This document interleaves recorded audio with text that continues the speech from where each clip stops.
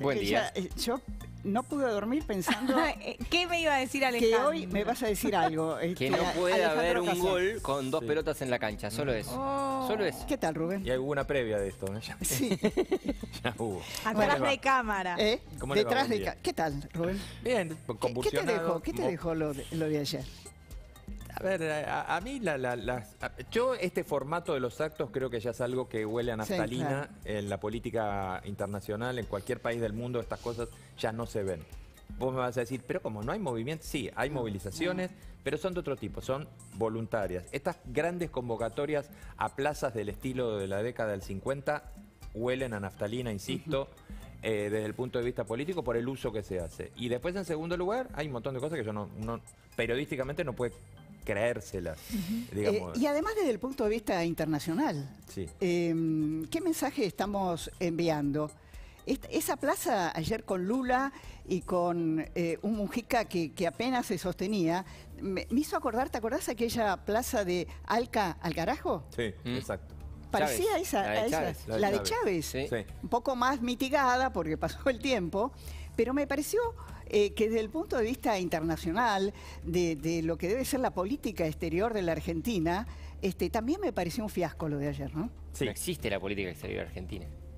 A ver, ¿ustedes No cómo, existe. cómo- cómo- A ver, La política exterior argentina está confinada a, a un canciller que era jefe de gabinete hasta hace meses. Sí. O sea, no existe la política Sí, que no exterior. es, es cierto nivel de profesionalización Exactamente. es muy bajo, ¿no?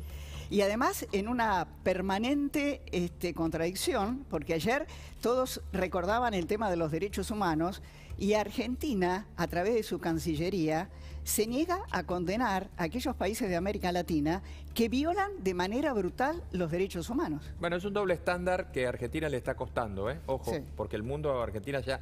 No, no, no es que no- nos damos cuenta solamente nosotros y Washington, que es lo que quiere marcar este... o con lo que se quiere convencer el gobierno. El mundo se está dando cuenta que Argentina, que es un país muy importante en la Tierra, muy importante en- por, por su superficie, por su producción, por lo que representa, eh, es un país que se está haciendo el sonso demasiado seguido en temas clave. Para Europa también es importante decir que lo de Nicaragua es un escándalo, ¿eh? no solo para Washington. Claro. Y ahí es donde me parece que estamos empezando a perder cada vez más prestigio. Ahora, además, eh, esa especie de delirio, ¿no? Porque te acordás que hasta hace dos semanas decían, bueno, no arreglamos con el fondo, le pedimos a los rusos, le pedimos a China, le Arabia pedimos a. Arabia Saudita, y ya han contestado, vos lo sabés muy bien. No, No. no porque Argentina no paga. Es así de simple. Los amigos. clásica, claro. Los amigos. Es que, pero es porque por supuesto es que a los amigos ya los dejamos colgando en el Club de París. Claro. El Club de París, que es otro fantasma que ha ideado este, esta ideología que nos rodea, eh, fueron países que socor en algunos casos hicieron préstamos más o menos interesados y en otros socorrieron a la Argentina en momentos complicados. España, el último préstamo que, es, que integra el Club de París, lo hizo España a la Argentina en un momento dramático. Sí. A los amigos que nos tiraron unos mangos, perdón que lo diga en estos términos, ya los dejamos parados. ¿No había ido Kichilov a negociar con el Club de París? Bueno, por supuesto. claro. Entonces, Que lo eh, reconoció Dualde. Sí, sí, Dualde lo reconoció eso. y agradeció, claro. Sí, no, a nosotros, nosotros los despreciamos cuando asume Néstor Kirchner. Exacto. Y vos, una persona tan joven, eh, has ah, te has desarrollado en democracia. ¿Qué sentiste ayer? Bueno, ayer creo que fue una mezcla de sentimientos, ¿no? De un lado, como desde ver cómo está el país, desde otro lado, cómo se llenaba la plaza cuando eh, volví a sentir como, como los ojos cerrados, ¿no? Esta situación de no querer ver la realidad, no querer ver que todavía la pandemia continuó, que las elecciones no hicieron que eso se termine, no querer ver eh, cómo está el país, no querer ver el resultado justamente de las elecciones. Entonces, lamentablemente, te saca la esperanza. Y lo sé por amigos míos, por colegas, Claro. por compañeros que eligen con 30 años irse del país y, y Claro. ver un futuro en otro lado, porque acá no se ve el futuro, por, por esa situación. Entonces, trato de seguir apostando, trato de cambiar la mirada, pero ante estos actos es difícil. Y, y lo que costó, ¿no? Lo La, que la, este, la marcha de ayer. 135 millones de pesos para que eh, pudieran viajar, 40 millones de Yo pesos eso no de lo había visto nunca, ¿eh? creo No. que es una, una novedad. Este, no, no, no, no- No. Nunca había visto mm, mm, puesto sobre papel el costo de una movilización en materia de transporte, que es lo que vimos ayer en una resolución de la Secretaría del Ministerio de Transporte, donde se fijó en primer lugar que eh, a partir de las 12 Exacto. eh, era, Gratis. era gratis el transporte público para que la gente pudiera ir a la plaza. La gente acá Porque además, a mí me, yo siempre pienso, el país ¿qué es el piensa AMBA. un catamarqueño? ¿Qué piensa un jujeño? ¿Qué piensa un misionero? ¿Qué No, piensa un es- Santa Que, Cruz? que además paga mucho más caro los servicios. Claro. Que paga la luz casi, muy bien, Ale, que paga la luz casi sin subsidio, que paga el gas sin subsidio, que paga mucho más que estos porteños y estos bonaerenses este, tan... de- los bonaerenses además más cercanos a los del conurbano, el resto no. Este, que tan acomodados, tan cómodos viviendo con esta vida un poquito más barata. Digo, lo digo a en chiste, porque en el conurbano Sí, no se vive siquiera. cómodo. Eh, pero digo, ¿qué, qué pensarán de que ven en una resolución que te dicen... eh, Transporte libre para todos los los que vayan a, a ese acto, que obviamente yo, yo me imagino un cordobés diciendo transporte libre para que vayan a ese acto de los porteños, porque Claro, eso es lo deben claro, pensar. claro. Eh, en segu- y en segundo lugar, y en segundo lugar en la misma resolución y denle 135 millones de pesos a las empresas, claro, para reforzar el subsidio por lo que para pagarles esos boletos gratis esa gente que van a Rubén, a- se a dio transportar. además el absurdo de que aquel que se levantó para ir a trabajar y tomó su colectivo antes de las 12 Lo pagó, pagó, boleto. claro. El que se levantó para ir a la marcha no pagó boleto. No, Claro. exacto, ahí está. Es una locura. Eh, parece una cosa chiquita, Bueno. Pero si lo expandís a todo lo que está pasando en la Argentina es gravísimo. Ayer estábamos aquí, aquí mismo, en Más Mañana, y eh, nosotros contamos con Eleonora Col a la mañana bien temprano, cuando salió la resolución, la verdad estábamos sorprendidos, y yo, yo toda la vida he seguido temas de, de- de federalismo fiscal y de presupuesto, yo dije, esto yo no lo vi nunca, que te pongan así, cuánto vale un acto en una, en una resolución, no lo había visto nunca, y empezó la gente a mandarnos mensajes a decir, pero paren que nosotros estamos pagando, y dijimos, claro, no, no, Sí, van a pagar, los que van a trabajar van a pagar. Eh, a, a la partir de las 12 del mediodía, los que vayan al acto no van a pagar. Los que a las 6 de la mañana iban a trabajar sí pagaban. Y además hay un desprecio eh, total para la gente que trabaja, que tiene que ir a estudiar. Este, eh, la ciudad es intransitable, marchas permanentes, este, un día es la- el día de lealtad, otro día es eh, la democracia. Este, hay un- un- un- una desidia total para aquel que tiene que cumplir compromisos, que tiene que, que ver además, puede ser compromisos familiares, de salud, de tantas cosas, Rubén. Cuando el libre tránsito es un derecho, ¿no? Claro. Y hay una segunda cara de esto que, qué en esta Argentina nunca lo ha calculado nadie esto, pero en el mundo se calcula y la verdad que las empresas lo dicen y es tres Mm. actos, tres días Ah. sin ir a trabajar. Claro. Claro. Esto se calcula también, muchachos. ¿eh? A ver, Claro. ¿cuánto se pierde de generar de producto por cada día que se para? Porque esto no era un feriado, esto no era ni un sábado a la tarde, ni era un domingo, esto era un día laboral, como pasó con los actos anteriores, como el día de la militancia. Claro. Cada vez que parás, el cálculo es a las empresas les baja el ingreso, tienen que seguir pagando los mismos sueldos. Claro. eh, porque no es que te descuentan el día porque te fuiste a la plaza a festejar.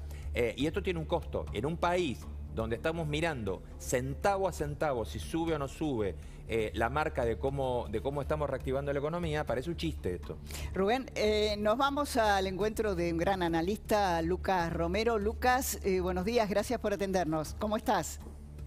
Buen día, Clara, buen día, Rubén. ¿Cómo andan ustedes? Bueno, Lucas, eh, reflexión tuya. ¿Qué te dejó el día de ayer? Bueno, eh, lo- los escuchaba y, y comparto, eh, digamos, esto de puntualizar eh, quién convocó a este festejo, eh, porque claramente es una convocatoria oficial que implicó además un esfuerzo fiscal del gobierno, para un festejo de una democracia agonal, no de una democracia plural, ¿no? Eh, claramente la, la ausencia ayer fue del resto de la dirigencia política que eh, forma parte también de nuestra democracia y que representa eh, a otros sectores sociales que ayer no estaban en la plaza, ¿no? Una plaza claramente de una parte y que me parece que, digamos, flaco favor le hizo al festejo de la fecha, ¿no? De- Mm.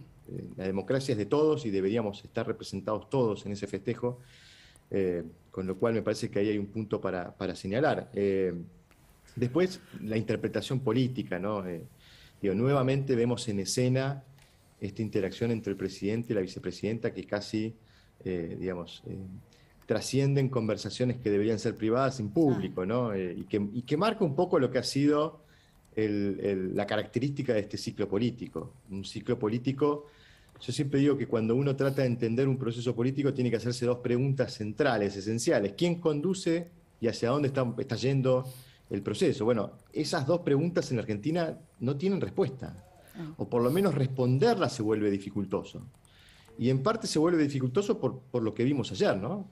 Eh, que el presidente le tenga que decir en público a Cristina, eh, tranquila, que voy a, negociar un acuerdo eh, que cumpla con tus condiciones o con tus exigencias, bueno, habla un poco de cómo funciona esta extraña coalición de gobierno, de, una, de un conjunto de actores que se juntaron para ganar la elección de 2019, claramente no piensan lo mismo, y que ha mostrado muchas dificultades para tomar decisiones. Tal es así que este acuerdo que el gobierno está negociando con el Fondo Monetario, Alberto Fernández sabía que lo tenía que negociar el 11 de agosto de 2019 a las 10 de la noche. Desde ese entonces se sabía que había que negociar este acuerdo. Bueno, todavía estamos dando vueltas a algo que debería haberse resuelto con, con mucha más eh, rapidez, no por, por, ningún eh, interés en particular, sino por el interés colectivo de todos. Creo que si se hubiera resuelto con, más antelación, hasta quizás al gobierno le hubiera ido bien electoralmente, porque claramente la incertidumbre que generó la postergación del acuerdo con el fondo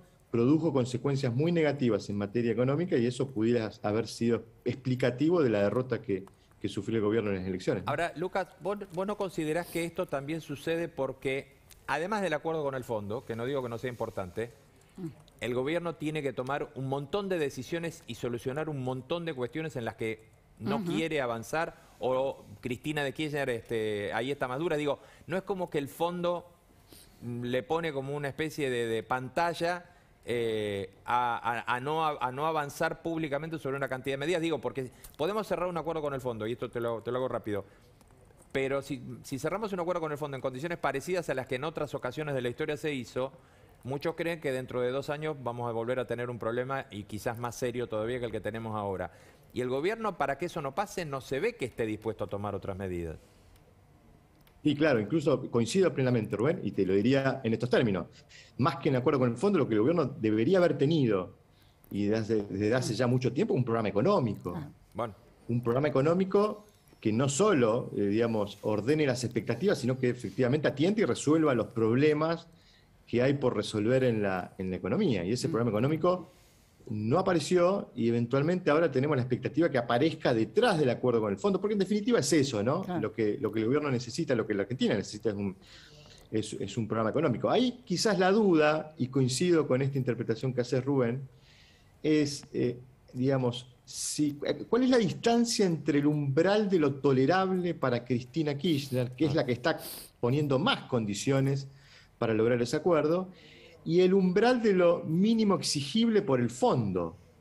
Ahí hay una tensión entre, entre esos dos, digamos, eh, puntos de la negociación. Y ahí la sospecha mm. es, ¿no será que el, el acuerdo políticamente viable es un acuerdo que está condenado a fracasar económicamente? Porque no atiende de manera eh, digamos, efectiva la resolución de los problemas de la economía argentina. Bueno, esa pudiera ser la, trampa en la que está el mm. gobierno, eh, porque en definitiva, digo, pudiera ser, digamos, pudiera ser un acuerdo, los economistas llaman un acuerdo light, en el mm. sentido que, bueno, resuelva parcialmente parte de los, de los problemas, pero que no tenga eh, resultados exitosos y eso termine en una, una derrota electoral en 2023. ¿no? Me, parece que ahí hay un, trade-off entre lo políticamente viable y lo mínimamente necesario para resolver los problemas que todavía no está claro cómo se va a resolver. Y, bueno, y es parte esencial también de la discusión. Lucas Romero, muchísimas gracias. No, por favor, el placer es mío, un saludo. Bueno.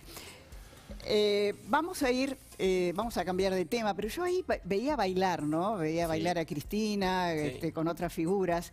La Argentina es todavía un país que está en duelo. 116 eh, mil muertos en el último año. Mm. Yo no sé, o, están disociados de la realidad o estoy equivocada yo, este, pero bailar públicamente en un acto público este, me llama la atención. Quizás entiendan que la pandemia terminó. Pero claro no había nada que festejar. Vamos a cambiar de tema. Robertino, eh, Robertino, ¿cómo estás? ¿Estás en Mataderos? Hola Clara, buen día. ¿Cómo estoy Muy bien, estoy muy bien, pero no tan bien. Porque Argentina se ve en las fiestas y asado. Los argentinos son ah, somos asados para las fiestas. Pero... Podemos hacer un montón de cosas gourmet, pero el asado, el tema es si llegamos al asado. Así, por eso estoy más o menos, estoy en una carnicería. Porque ¿Cómo, cómo sabes? Sí, Ale, tenés razón.